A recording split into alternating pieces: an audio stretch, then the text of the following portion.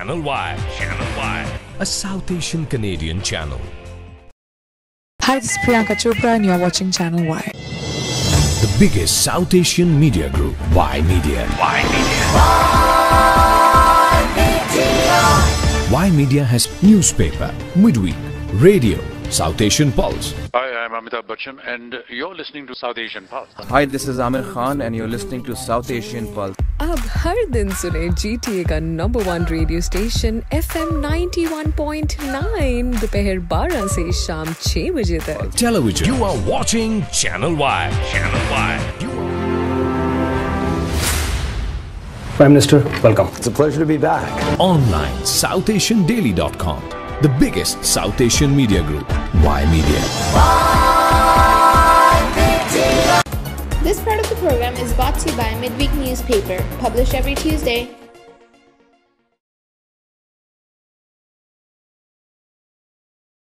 Rupinder ji India China ਦੇ ਬਾਰੇ ਅਸੀਂ ਗੱਲ ਕਰਾਂਗੇ ਕਿਉਂਕਿ ਸਮੇਂ ਬਹੁਤ ਘੱਟ ਹੈਗਾ।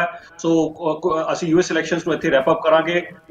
ਤੁਹਾਡੀ ਐਕਸਪਰਟਿਜ਼ ਹੈ ਰੁਪਿੰਦਰ ਜੀ ਇਸ ਮਾਮਲੇ ਦੇ ਉੱਤੇ। ਤੁਸੀਂ ਸਰਵ ਵੀ ਕੀਤਾ ਹੋਇਆ ਆਰਮੀ ਦੇ ਯੂ ਸਰਵਡ ਇਨ ਆਰਮੀ ਤੁਸੀਂ ਬਾਰਡਰ ਸਿਚੁਏਸ਼ਨਸ ਦੇਖੀਆਂ ਨੇ।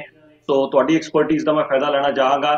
ਡਿਫੈਂਸ ਮਿਨਿਸਟਰਸ ਦੀ ਮੁਲਾਕਾਤ ਹੋਈ Indian defence minister Rajnath Singh ਅ, ਨੇ ਮੁਲਾਕਾਤ ਕੀਤੀ his with his counterpart India ਦੇ ਫੋਰਨ ਅਫੇਅਰਸ ਮਿਨਿਸਟਰ ਨੇ ਲਗਭਗ 2 ਘੰਟੇ ਗੱਲਬਾਤ ਕੀਤੀ with his Chinese counterpart Russia is keen ਕਿ ਕਿਸੇ ਤਰੀਕੇ ਦੇ ਨਾਲ ਇੰਡੀਆ ਔਰ ਚਾਈਨਾ ਦੀ ਗੱਲਬਾਤ ਆਪਸ ਕਰਵਾਈ ਜਾਵੇ ਬਟ ਜੋ ਖਬਰਾਂ ਆ ਰਹੀਆਂ ਨੇ ਚਾਹੇ ਐਸ ਜੈ ਸ਼ੰਕਰ ਉਹਨਾਂ ਦੇ ਨਾਲ ਜੋ ਮੀਟਿੰਗ ਹੋਈ ਹੈ 2 ਘੰਟੇ ਜਾਂ ਪਹਿਲਾਂ ਰਾਜਨਾਥ ਸਿੰਘ ਹੀ ਹੋਈ ਹੈ a tough rhetoric by China just for a viewers benefit ਮੈਂ ਕੁਇਕਲੀ ਬਸ ਇਹਨਾਂ ਦੱਸੂਗਾ ਕਿ ਇੰਡੀਆ ਚਾਈਨਾ ਨੂੰ ਕਹਿ ਰਿਹਾ ਕਿ China has been very aggressive ਔਰ ਚਾਈਨਾ ਕਹਿ ਰਿਹਾ ਕਿ India has been very aggressive so ਦੋਨੋਂ ਇੱਕ ਦੂਸਰੇ ਤੇ ਐਲੀਗੇਸ਼ਨਸ ਲਗਾ ਰਹੇ ਨੇ 82 billion dollar the bilateral trade heavily skewed in favour of China China ਦੀ ਤਰਫੋਂ 65 ਬਿਲੀਅਨ ਡਾਲਰ ਦੇ ਐਕਸਪੋਰਟਸ ਇੰਡੀਆ ਵੱਲ ਕੀਤੇ ਜਾ ਰਹੇ ਨੇ ਔਰ ਇੰਡੀਆ ਨੇ 17 ਬਿਲੀਅਨ ਜਿਹੜਾ ਹੁਣੇ ਫਾਈਨੈਂਸ਼ੀਅਲ ਈਅਰ 31 ਮਾਰਚ ਨੂੰ ਖਤਮ ਹੋਇਆ ਹੈ 31 ਮਾਰਚ 2020 ਤੱਕ ਦੀ ਮੈਂ ਰਿਪੋਰਟ ਤੁਹਾਡੇ ਲਈ ਇਹ ਪੇਸ਼ ਅ, ਕਰ ਰਿਹਾ ਹਾਂ ਸੋ ਨਾਓ ਦੋਨੋਂ ਪਾਸੇ ਅ, ਜਿਹੜੀ ਆਰਮੀਜ਼ ਹੈਗੀਆਂ ਨੇ ਰੀਇਨਫੋਰਸਮੈਂਟ ਹੋ ਰਹੀ ਹੈ ਅਰਾਊਂਡ 40000 ਟਰੂਪਸ ਉਹਨਾਂ ਨੇ ਲਗਾਏ ਹੈਗੇ ਨੇ ਇਨਫੈਂਟਰੀ ਹੋਰ ਬੜਾ ਕੁਝ ਹੋ ਰਿਹਾ ਹੈ। ਰਡਾਰ ਸਿਸਟਮਸ ਔਨ ਕਰ ਦਿੱਤੇ ਗਏ ਨੇ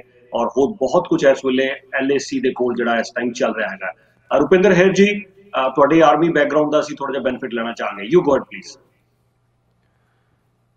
ਅ, ਜੀ ਇਹਦੇ 'ਚ ਕੋਈ ਡਾਊਟ ਨਹੀਂ ਹੈਗਾ ਕਿ ਇਸ ਵੇਲੇ ਜਿਹੜੀ ਸਿਚੁਏਸ਼ਨ ਹੈਗੀ ਆ ਦੈਟ ਇਜ਼ ਲਿਟਲ ਟੈਂਸ ਜਿਹੜੀ ਆਲ ਅਲੋਂਗ ਦਾ ਖਾਸ ਤੌਰ ਤੇ ਐਲਏਸੀ ਮਗਰ ਆਈ ਜਸਟ ਮੈਂ I just want to give you one input ਕਿ ਐਨੀ ਟਾਈਮ ਸਪਟੈਂਬਰ ਅਕਤੂਬਰ ਉਹ ਟਾਈਮ ਨੇ ਜਿੱਥੇ ਹਮੇਸ਼ਾ ਹੀ ਯੂ نو ਐਕਸਰਸਾਈਜ਼ ਜਿਹੜੀ ਆ ਉਹ ਕੀਤੀ ਜਾਂਦੀ ਹੈ ਜਿਹਨੂੰ ਅਸੀਂ ਪੰਜਾਬੀ ਸਕੀਮ ਕਹਿੰਦੇ ਨੇ ਟਰੂਪਸ ਜਿਹੜੇ ਆ ਉਹ ਹਮੇਸ਼ਾ ਅ, ਆਪਣੀ ਜਾ ਕੇ ਪੋਸਟ ਜਿਹੜੇ ਆ ਉਹਨਾਂ ਨੂੰ ਮੇਨਟੇਨ ਕਰਦੇ ਨੇ ਬਿਕਾਜ਼ ਅਕਤੂਬਰ ਐਂਡ ਤੋਂ ਜਿਹੜੇ ਪਾਸਸ ਆ ਸਾਰੇ ਜਿਹੜੇ ਆ all this places they going to be closed ਔਰ ਹਿਊਮਨਲੀ ਇਟ ਇਜ਼ ਪੋਸੀਬਲ ਨਹੀਂ ਹੈਗਾ ਕਿ ਕੋਈ ਵੀ ਅਫੈਂਸਿਵ ਜਿਹੜਾ ਆ ਉਹ ਅਕਤੂਬਰ ਐਂਡ ਤੋਂ ਲੈ ਕੇ ਉਹ ਜਿਹੜੇ ਆ ਟੁਵਰਡਸ ਫੈਬਰੀ ਮਾਰਚ ਤੱਕ ਜਿਹੜੇ ਆ ਉਸ ਏਰੀਆ ਜਿਹੜੇ ਆ ਉਹ ਕੀਤੇ ਜਾ ਸਕਣ। ਸੋ ਐਵਰੇਜ ਹਾਈਟ ਜਿਹੜੀਆਂ ਉੱਥੇ ਹੈਗੀਆਂ 14000 15000 ਫੁੱਟ ਅਬਵ ਦ ਸੀ ਲੈਵਲ ਜਿਹੜੀ ਅਸੀਂ ਉਹਦੀ ਗੱਲ ਕਰ ਰਹੇ ਹਾਂ। ਦੂਸਰਾ ਐਰ ਦਾ ਫ਼ਰਕ ਇਹ ਹੈਗਾ ਕਿ ਇੰਡੀਆ ਨੇ ਬੜੀ ਆਪਣੀ ਜਿਹੜੀ ਆ ਐਗਰੈਸਿਵ ਪੋਸਚਰ ਉਹ ਰੱਖਿਆ ਹੋਇਆ ਟੁਵਰਡ ਚਾਈਨਾ ਸੋ ਚਾਈਨਾ ਜਿਹੜਾ ਆ ਉਹ ਪੁਰਾਣੇ ਇੰਡੀਆ ਤੋਂ ਯੂਜ਼ ਟੂ ਹੈਗਾ। ਐਰਕਾ ਵੀ ਜਿਹੜੀ ਉਹਨਾਂ ਦੀ ਵਾਪਸ ਅ, ਜਿਹੜੇ ਫੌਜ ਫੌਜ ਜਿਹੜੀ ਆ ਵਾਪਸ ਪੁਆਇੰਟ 14 15 ਜਿਹੜੀਆਂ ਪੋਰਟਸ ਹੈਗੀਆਂ ਉੱਥੇ ਤੱਕ ਜਾਣੀਆਂ। ਉਹ ਜਿੰਨੇ ਟਾਈਮ ਲਾਈਨ ਜੋ ਦਿੱਤਾ ਗਿਆ ਸੀਗਾ ਉਹਦੇ ਚ ਚਾਈਨੀਜ਼ ਕੁਝ ਜਗ੍ਹਾ ਤੋਂ ਵਾਪਸ ਨਹੀਂ ਗਏ। ਖਾਸ ਤੌਰ ਤੇ ਸਾਊਥ ਪਨੋਂਗਸੋ ਜਿਹੜੀ ਲੇਕ ਹੈਗੀ ਉੱਥੋਂ। ਉਹ ਇੰਡੀਆ ਜਿਹੜਾ ਆ ਉਹ ਆਪਣੇ ਐਗਰੈਸਿਵ ਪੋਸਚਰ ਕਰਕੇ ਉਹ ਐਕਸੈਪਟ ਨਹੀਂ ਕਰ ਰਿਹਾ। ਸੋ ਦਿਸ ਇਹ ਮੇਜਰ ਚੇਂਜ ਹੈਗੀ ਆ। ਦੋਨਾਂ ਹੀ ਕੰਟਰੀਜ਼ ਨੂੰ ਇਹ ਫੁੱਲ ਕਿਸੇ ਵੀ ਤਰ੍ਹਾਂ ਦੀ ਜਿਹੜੀ ਆ ਈਵਨ ਬੁਲਟ ਵੀ ਉੱਥੇ ਅਗਰ ਐਕਸਚੇਂਜ ਹੁੰਦੀ ਆ, ਉਹ ਵੀ ਇਹ ਦੋਵੇਂ ਕੰਟਰੀ ਜਿਹੜੇ ਇਸ ਵੇਲੇ ਅਫੋਰਡ ਨਹੀਂ ਕਰ ਸਕਦੇ ਔਰ ਨਾ ਹੀ ਕਰਨਗੇ।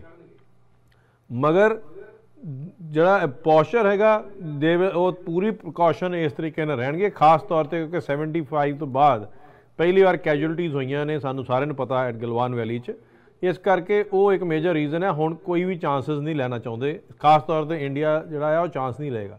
so this is why defence minister ਦੀ ਵੀ ਟਾਕਸ ਹੋ ਰਹੀਆਂ ਨੇ ਫੋਰਨ ਮਿਨਿਸਟਰ ਦੀ ਵੀ ਟਾਕਸ ਹੋ ਰਹੀਆਂ ਨੇ ਇਨ ਮਾਸਕੋ ਉਹ dialogue will always be there ਔਰ ਡਾਇਲੌਗ ਦੇ ਨਾਲ ਹੀ ਉਹ ਠੀਕ ਹੋਣਾ ਬਟ ਯੈਸ ਇਸ ਟਾਈਮ ਨੈਚੁਰਲੀ ਵੈਸੇ ਵੀ ਅ, ਇਹ ਉਹ ਟਾਈਮ ਹੈ ਜਦੋਂ ਟਰੂਪਸ ਜਿਹੜੇ ਆ ਉਹ ਜਾ ਕੇ ਪੋਸਟ ਮੇਨਟੇਨ ਕਰਨ ਵਿਕੇਟ ਕਰਨ ਤੋਂ ਪਹਿਲਾਂ ਉੱਥੇ ਜਾਂਦੇ ਆ ਔਰ ਡੂ ਦੈਟ ਐਕਸਰਸਾਈਜ਼ ਪਲੱਸ ਜੋ ਇਸ ਵੇਲੇ ਸਿਚੁਏਸ਼ਨ ਚੱਲ ਰਹੀ ਆ India is aggressive so that is why ਇਹ ਜਿਹੜੀ ਖਬਰ ਜਿਹੜੀ ਆ ਰਹੀ ਆ ਇਟ ਇਜ਼ ਟਰੂ ਕਿ ਟਰੂਪਸ ਜਿਹੜੇ ਆ ਉੱਥੇ ਹੈਗੇ ਆ ਔਰ ਐਗਰੈਸਿਵ ਪੋਸਚਰ ਕਰਕੇ देयर इज अ ਟੈਂਸ਼ਨ ਪਰ ਆਈ ਲਾਈਕ ਮੈਂ ਜਿੱਦਾਂ ਹਮੇਸ਼ਾ ਹੀ ਕਹਿੰਦਾ ਆ ਕਿ ਦੋਨੋਂ ਹੀ ਕੰਟਰੀ ਇੱਕ ਦੂਜੇ ਦੀ ਕੋਈ ਕੈਜੁਅਲਟੀ ਵੀ ਨਹੀਂ ਕਰਨਗੇ forget about firing so this is my opinion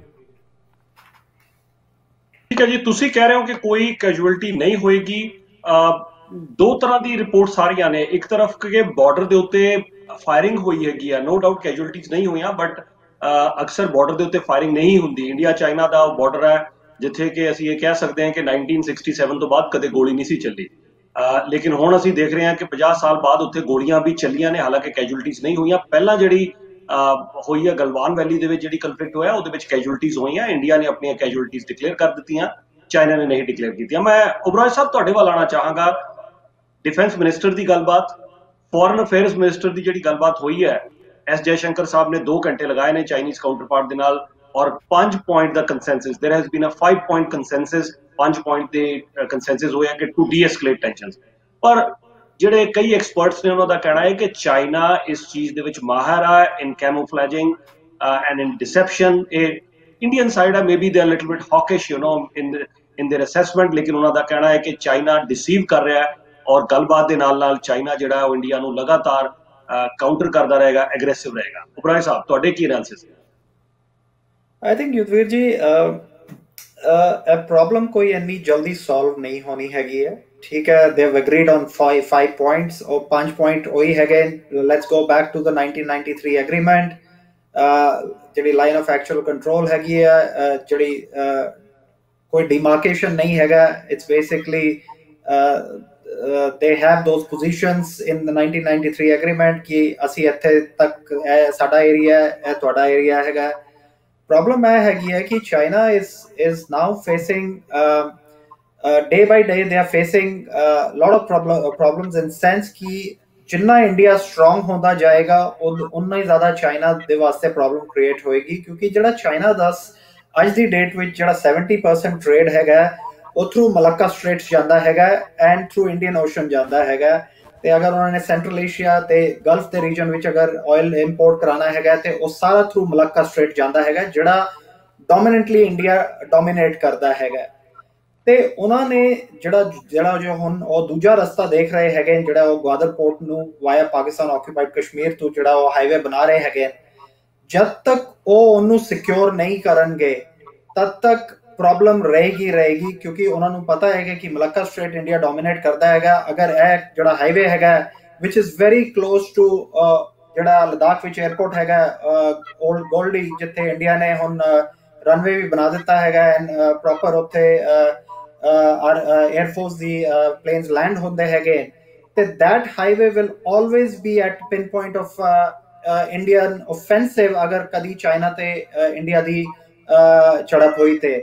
ਤੇ that will also cut another route for Chinese goods to other nations and ਜਿਹੜੇ ਆਇਲ ਇੰਪੋਰਟਸ ਹੁੰਦੇ ਨੇ ਉਹਦੇ ਵਿੱਚ ਵੀ ਪ੍ਰੋਬਲਮ ਹੋਏਗੀ the the reason why India is belligerent right now is that from finger 8 ਤੇ finger 4 ਤੇ ਜਿਹੜਾ ਕੰਟਰੋਲ ਕੀਤਾ ਹੈਗਾ ਚਾਈਨਾ ਨੇ now they are being overlook by the positions ਜਿਹੜੇ ਇੰਡੀਆ ਨੇ ਟੈਕਟਿਕਲੀ ਹੁਣ 28 ਅਗਸਤ ਤੇ 29 ਅਗਸਤ ਨੂੰ ਆਕੂਪਾਈ ਕੀਤੀਆਂ ਹੈਗੀਆਂ ਵਿਚ were never occupied after after 1962 war uh, they were actually line of actual control but no no army was there they now their positions at finger 4 which is north of the lake are directly in contact with uh, uh, are directly in sight with indian positions ਜਿਹੜੀ ਉਹਨਾਂ ਨੂੰ disadvantage ਦਿੰਦੀਆਂ ਹੈਗੀਆਂ ਤੇ that is the reason they are so belligerent in sense that uh, they they never felt that india would take such a such a position with china keeping in mind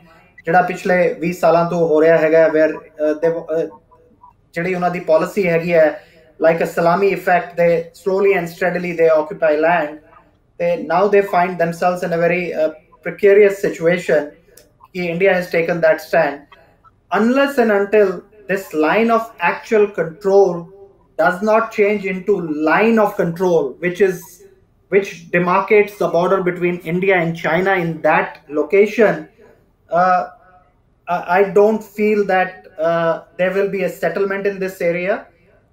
ਤੁਸੀਂ ਇਸ ਪੰਜ agreement ਦੇ ਬਾਅਦ ਵੀ ਦੇਖੋਗੇ D-escalation ਨਹੀਂ ਹੋਏਗੀ maybe next month prime minister Modi ਤੇ president ਜ਼ੀ ਮਿਲ ਰਹੇ ਹੈਗੇ maybe they will shake hands and then winter will set up and maybe there is some de-escalation because it's very difficult to hold forces in such positions. But coming next year when passes will open you will see this problem again uh, arising again and uh, both the armies will hold their positions. Unless and until there is an agreement to change this lsc into loc which is line of control I don't see these uh, these tensions coming down uh, because if China has to send its goods and China ਨੂੰ ਪਤਾ ਹੈ ਅੱਜ ਦੀ date ਵਿੱਚ ਉਹ ਮਲੱਕਾ ਸਟ੍ਰੇਟਸ ਨੂੰ dominate ਨਹੀਂ ਕਰ ਸਕਦੇ they have to find different routes China will pursue this route uh, route uh, at any cost that's my take on that Yudhvij ਠੀਕ ਹੈ ਜੀ ਕਿਉਂਕਿ ਅਸੀਂ ਆਖਰੀ ਜਿਹੜਾ ਟੌਪਿਕ ਹੈਗਾ ਚਾਹੁੰਦੇ ਹਾਂ ਕਿ ਉਹਦੇ ਤੇ ਵੀ 5-7 ਮਿੰਟਸ ਲਗਾਈਏ ਔਰ ਫਿਰ ਸਾਨੂੰ ਰੈਪ ਅਪ ਕਰਨ ਦੇ ਹੁਕਮ ਆ ਚੁੱਕੇ ਨੇ। ਵਿਰਕ ਸਾਹਿਬ, ਤੁਸੀਂ ਬਰੀਫ ਚ ਇੱਥੇ ਕਮੈਂਟ ਕਰ ਦਿਓ ਐਂਡ ਦੈਨ ਕੁਇਕਲੀ ਸਾਡਾ ਆਖਰੀ ਟੌਪਿਕ ਅਸੀਂ ਕਵਰ ਕਰਾਂਗੇ। ਜੀ, Virk Sahib please go ahead Yudhvir ji, ਮੈਂ ਰੇਡੀਓ ਤੇ ਵੀ ਕਈ ਵਾਰ ਕਮੈਂਟ ਦੇ ਚੁੱਕਾ ਤੁਹਾਡੇ ਨਾਲ। ਤੇ ਹੁਣ ਮੈਂ ਦੇਣਾ ਵੀ ਜੇ ਅਮਰੀਕਾ ਉੱਥੇ South Asia South China sea ਦੇ ਵਿੱਚ ਜਾ ਕੇ ਕੋਈ ਆਪਣਾ ਬੇਸ ਬਣਾਉਣ ਦੀ ਕੋਸ਼ਿਸ਼ ਕਰੇਗਾ ਔਰ ਇੰਡੀਆ ਅਗਰ ਉਹਦੇ ਹੈਲਪ ਕਰੇਗਾ ਕਿਸੇ ਪੱਖੋਂ ਤੇ ਚਾਈਨਾ ਕਦੇ ਵੀ ਇੰਡੀਆ ਨੂੰ ਸ਼ਾਂਤੀ ਨਾਲ ਨਹੀਂ ਰਹਿਣ ਦੇਗਾ ਇਹਦੇ ਨਾਲ ਕੋਈ ਨਾ ਕੋਈ ਚਾਈਨਾ ਹੇਰਾਫੇਰੀ ਕਰਦਾ ਰਹੂਗਾ। ਹੁਣ ਡਿਪਲੋਮੈਟਿਕ ਲੈਵਲ ਤੇ ਰਸ਼ੀਆ ਦੇ ਵਿੱਚ ਇਹ ਮੀਟਿੰਗਾਂ ਹੋ ਰਹੀਆਂ ਨੇ। ਰਸ਼ੀਆ ਜਿਹੜਾ ਇਸ ਵੇਲੇ ਕਾਮਨ ਰੋਲ ਪਲੇ ਕਰ ਰਿਹਾ ਬਿਟਵੀਨ ਚਾਈਨਾ ਐਂਡ ਇੰਡੀਆ ਔਰ ਰਸ਼ੀਆ ਵੀ ਤੁਸੀਂ ਨਾਰਮਲ ਨਾ ਲਵੋ। ਰਸ਼ੀਆ ਵੀ ਨਹੀਂ ਚਾਹੁੰਦਾ ਕਿ ਅਮਰੀਕਾ ਉਸ ਖਿੱਤੇ ਦੇ ਵਿੱਚ ਜਾ ਕੇ ਆਪਣਾ ਕੋ ਬੇਸ ਬਣਾਵੇ ਤੇ ਆਪਣੇ ਆਪ ਨੂੰ ਸਟਰੋਂਗ ਕਰੇ। ਸੋ ਚਾਈਨਾ ਔਰ ਰਸ਼ੀਆ ਦੋਨੋਂ ਅਮਰੀਕਾ ਦੇ ਅਗੇਂਸਟ ਨੇ, ਉਸ ਖਿੱਤੇ ਦੇ ਵਿੱਚ ਅਮਰੀਕਾ ਨੂੰ ਬੇਸ ਬਣਾਉਣ ਦੇ ਅਗੇਂਸਟ ਨੇ ਔਰ ਨਹੀਂ ਦੇਣਗੇ, ਕਦੀ ਵੀ ਨਹੀਂ ਦੇਣਗੇ। ਭਾਵੇਂ ਅਮਰੀਕਾ ਜਿੰਨਾ ਮਰਜ਼ੀ ਕੋਸ਼ਿਸ਼ ਕਰ ਲੈ। ਔਰ ਜਿਸ ਤੱਕ ਇੰਡੀਆ ਦਾ ਹੁਣ ਇੰਡੀਆ ਨੇ ਤੇਰੇ ਤਿੰਨਾਂ ਦੋ ਲੈਵਲ ਦੀ ਜਿਹੜੀ ਡਿਪਲੋਮੈਟਿਕ ਮੀਟਿੰਗਾਂ ਹੋਈਆਂ ਨੇ, ਉਹ ਰਸ਼ੀਆ ਚ ਹੋਈਆਂ ਨੇ ਫੋਰਨ ਮਿਨਿਸਟਰਸ ਦੀ ਵੀ ਤੇ ਡਿਫੈਂਸ ਮਿਨਿਸਟਰ ਦੀ ਵੀ। ਔਰ ਇੱਕ ਜਨਰਲ ਲੈਵਲ ਦੀ ਵੀ ਮੀਟਿੰਗ ਹੋਈ ਹੈ ਨੈਗੋਸ਼ੀਏਸ਼ਨ ਹੋਈਆਂ ਨੇ ਦੋਨਾਂ ਕੰਟਰੀਆਂ ਦੇ। ਇਹ ਡੀਐਸਕੇਲੇਸ਼ਨ ਵਾਸਤੇ ਹੁੰਦੀਆਂ ਪਈਆਂ ਸਾਰੀਆਂ। ਜਿਵੇਂ ਕਰਨਲ ਸਾਹਿਬ ਨੇ ਕਿਹਾ, ਠੰਡ ਆ ਰਹੀ ਹੈ, ਠੰਡ ਤੋਂ ਪਹਿਲਾਂ ਪਹਿਲਾਂ ਉਹ ਅਸੀਂ ਆਪਣੇ ਆਪ ਨੂੰ ਸਟਰੋਂਗ ਉੱਥੇ ਬੇਸ ਆਪਣੇ ਆਪ ਨੂੰ ਸਟਰੋਂਗ ਪੈਰਾਂ ਤੇ ਖੜਾ ਕਰਨਾ ਚਾਹੁੰਦੇ ਆ ਤੇ ਉਹਦੇ ਵਾਸਤੇ ਆ ਔਰ ਜਿਹੜੇ ਪ੍ਰੈਜ਼ੀਡੈਂਟ ਚਾਈਨਾ ਦੇ ਨੇ ਤੇ ਆਪਣੇ ਮੋਦੀ ਸਾਹਿਬ ਨੇ ਇਹ ਬੜੇ ਗੁੱਡ ਰਿਲੇਸ਼ਨ ਨੇ ਇਹਨਾਂ ਦੇ ਆਪਸ ਵਿੱਚ, ਯੁੱਧਵੀਰ ਜੀ। ਬਹੁਤ ਹੀ ਵਧੀਆ ਰਿਲੇਸ਼ਨ ਨੇ ਦੋਨਾਂ ਦੇ। ਔਰ ਮੈਨੂੰ ਨਹੀਂ ਲੱਗਦਾ ਇਹਨਾਂ ਦੇ ਰਿਲੇਸ਼ਨ ਦੇ ਵਿੱਚ, ਦੋਨਾਂ ਦੇ ਵਿੱਚ ਕੋਈ ਕਿਸੇ ਕਿਸਮ ਦੀ ਕਮੀ ਆਏਗੀ। ਹਮੇਸ਼ਾ ਉਹੋ ਜਿਹੇ ਰਹਿਣਗੇ ਜੋ ਪਹਿਲਾਂ ਸਨ। ਔਰ ਇਨ ਫਿਊਚਰ ਜਨਾ ਚਰ ਮੋਦੀ ਸਾਹਿਬ ਨੇ ਚਾਈਨਾ ਦੇ ਨਾਲ ਕਿਸੇ ਕਿਸਮ ਦਾ ਵੀ ਸਾਡਾ, ਇੰਡੀਆ ਦਾ ਕੋਈ ਕਿਸੇ ਕਿਸਮ ਦਾ ਝਗੜਾ ਨਹੀਂ ਹੋਣ ਦੀ ਕੋਈ ਉਮੀਦ ਹੈਗੀ। ਤੇ ਅਮਰੀਕਾ ਨੂੰ ਰਸ਼ੀਆ ਔਰ ਚਾਈਨਾ ਕਦੀ ਵੀ ਉਸ ਖਿੱਤੇ ਦੇ ਵਿੱਚ ਸਟਰੋਂਗ ਨਹੀਂ ਹੋਣ ਦੇਣਗੇ ਔਰ ਅਲਟੀਮੇਟਲੀ ਅਮਰੀਕਾ ਦੇ ਪੁਆਇੰਟ ਤੇ ਇੰਡੀਆ ਨੂੰ ਵੀ ਥੋੜਾ ਜਿਹਾ ਪੈਸਿਵ ਹੋਣਾ ਪਵੇਗਾ ਐਕਟਿਵ ਐਕਚੁਅਲੀ ਅਮਰੀਕਾ ਦੇ ਨਾਲ ਨਹੀਂ ਖੜਾ ਹੋਏਗਾ ਇੰਡੀਆ ਵੀ ਕਿਉਂਕਿ ਇੰਡੀਆ ਨੂੰ ਚਾਈਨਾ ਦੀ ਲੋੜ ਹੈ ਉਸ ਖਿੱਤੇ ਦੇ ਵਿੱਚ ਔਰ ਰਸ਼ੀਆ ਦੀ ਵੀ ਲੋੜ ਹੈ Channel Y, Channel Y, a South Asian Canadian channel.